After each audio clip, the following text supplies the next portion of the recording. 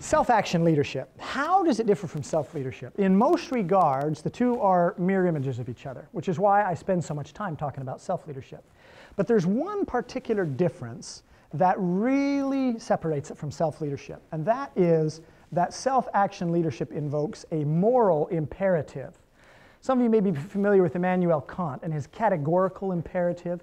This is a similar construct here for the self-action leadership theory and model. The reason why we demand that this moral imperative exists is so that we don't end up with this guy. And I want to contrast Hitler's life with Nelson Mandela for a second. Because the two had strikingly similar journeys in the first several decades of their lives. They were both, they were both disenfranchised, maybe not disenfranchised, but they were both embittered and marginalized socialists. Both were eventually imprisoned because they tried through violent means to overthrow their adversaries. But something significantly different happened in the mind of Nelson Mandela versus Adolf Hitler during the time they spent in prison.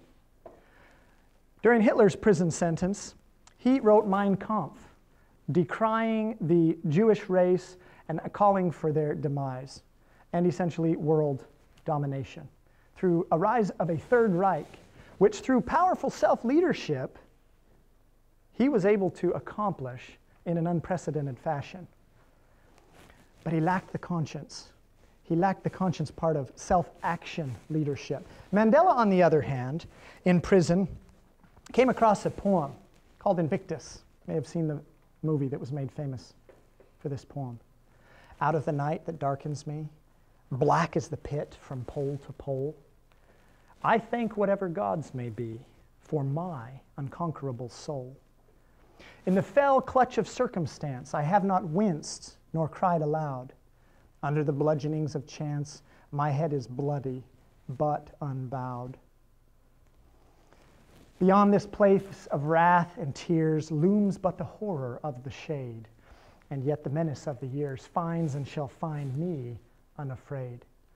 It matters not how straight the gate, how charged with punishments the scroll. I am the captain of my fate. I am the master of my soul. 27 years later, he was released from prison, a changed man, a man whose heart was now overflowing with love rather than hate. Shortly thereafter, a year later, he became president in a democratically elected process in South Africa and became one of the most powerful leaders in the history of that continent and was and is credited to this day as one of the one of the primary catalysts for the end of apartheid. The difference of conscience. This is why self-action leadership demands a conscience. Anyone, good or evil, can be an effective self-leader, but only those who choose the good and the right, like Mandela and others like him, can be qualified as self-action leaders. Now, right and wrong, if these are actually real, then who's right is right and who's wrong is wrong, right? We got a whole bunch of different religions we could turn to, and we got a whole bunch of different political parties that we could turn to. But in the end, truth is non denominational and non affiliative. Truth just is. You don't have to belong to a certain sect to accept this self-evident reality. It just is. On the compass, it, the needle points north, not because someone cleverly decided which way was north, because north is. And no matter how clever your arguments, that north is really south or north is really west or east, it doesn't change that reality that north is. Sir Winston Churchill, the truth is incontrovertible. Malice may attack it, Ignorance may deride it, but in the end, there it is. Now, who's going to tell you when you're doing something wrong? You are. I'm not here to tell you how to live your life. Freedom Focus is not here to set up a new religion. We are here simply to invite you to listen to your own conscience and to go and look in the mirror and self examine your own life. In the words of the poet Dale Wimbrow, when you get what you want in your struggle for pelf, and the world makes you king for a day, go to the mirror and look at yourself and see what that man has to say. For it isn't your father or mother or wife whose judgment upon you must pass. The feller whose verdict counts most in this life is the guy staring back from the glass. You may be like Jack Horner and chisel a plum and think you're a wonderful guy, but the guy in the glass thinks you're only a bum if you can't look him straight in the eye. He's the feller to please. Never mind all the rest, for he's with you clear up to the end. And you've passed your most dangerous, difficult test if the man in the glass is your friend. All of us have this conscience within, the light within. Angel on your shoulder, devil on your shoulder, if you wish, whatever imagery will help you. But all of us have this sixth sense. You don't have to belong to a particular faith or hold to a certain ideology or philosophy or vote a certain ticket to have a conscience. All human beings have one. And the invitation of self action leadership and freedom focused is to return to that inner light that can guide us in our lives.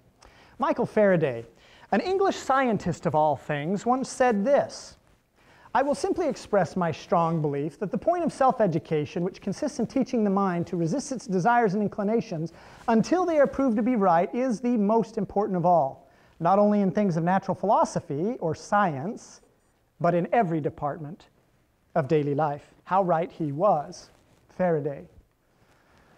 Now, you can also decipher between right and wrong. This is not all about conscience. You also have a brain, thank goodness. You also have experiences, your own and that of others, wherein we can derive wisdom.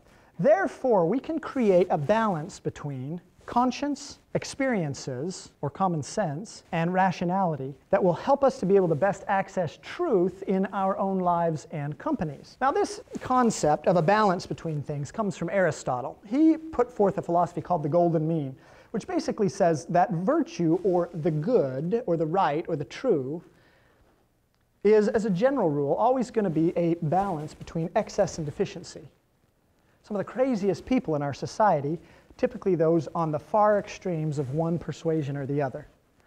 As we become more balanced, that helps us, regardless of what it is we're undertaking, to better access the right decision for the right time with the right individuals. So here we have, we've expanded on it to give you a golden mean in triadic form. So there's now three conscience, common sense, and rationality. The perfect balance between what our brain says, what our experiences and the experience of others, aka a study of history, say, and that light within will help us to arrive at the best possible, as, as best as humans possibly can anyway, of finding that inner truth that can help us make the best decisions. And with this construct, we can then actually put forth a secular definition of right and wrong as follows. Right, thought, speech, and actions that create positive and constructive long-term consequences for self and others. Key term here is long-term. Okay, there are a lot of things that feel right or seem right in the moment that end up down the road proving themselves to be terribly wrong. Sometimes it and you know, you touch a hot stove, for example, you jump off a cliff. Well, consequence happens really fast. You realize really quickly that was a wrong choice to make if you want to live anyway or have a hand that's not scalded. But there are other decisions that may take weeks, months, years, decades, generations, in some cases even centuries or millennia before history gives its final verdict on whether it's right and whether it's wrong. The invitation for us is to be humble, recognizing that the jury is still out on many things, but with what we can, with what we do have, we do the very best we can to do things that are right and to avoid things that are wrong, which is just the inverse thought, speech, and actions that create negative and destructive long term consequences for self and others. I believe this is something that people of all religions, all philosophies, all political parties, or, or most of all of these things that most people can agree with.